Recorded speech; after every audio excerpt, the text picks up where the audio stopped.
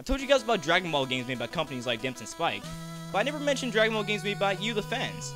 And that's why the DBZGOD123 and I will be giving you guys our list of the top 3 best fan-made Dragon Ball games of all time.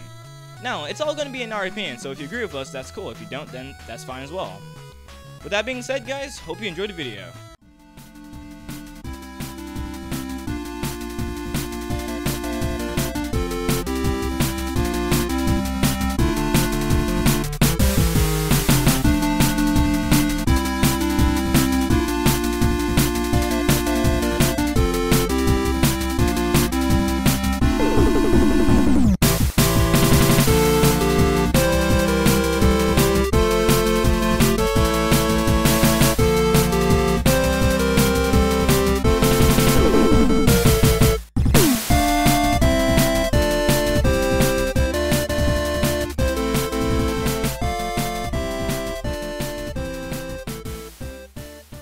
For number 3 on our list, we have Dragon Ball Devolution.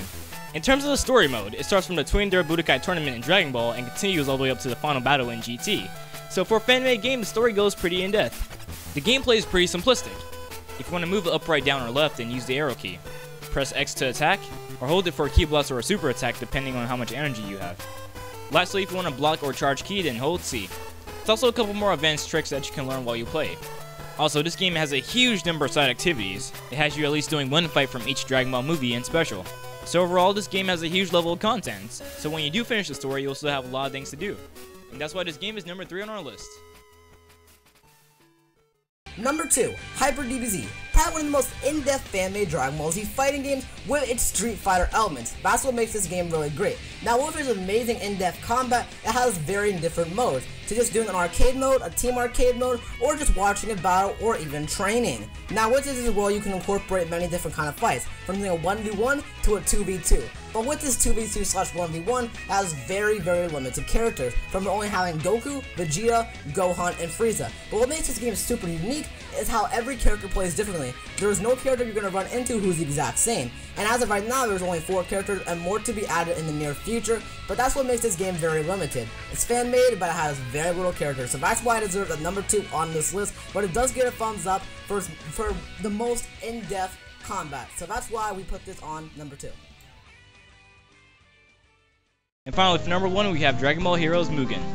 Now, this game doesn't have an actual story mode, but instead it has an arcade mode, which lets you battle a series of Dragon Ball characters. The gameplay isn't as in-depth as Hyper Dragon Ball Z, but it's still pretty good for a decent fighter. Now, the main thing that makes this game stand out over the other fan-made Dragon Ball games, which is its enormous character roster having 126 playable characters. Granted, some of the slots are transformations, but it's still pretty impressive.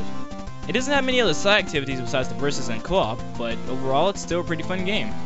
And that's why this game is number one on our list. Well, this has been our list of the top 3 best fan-made Dragon Ball games of all time.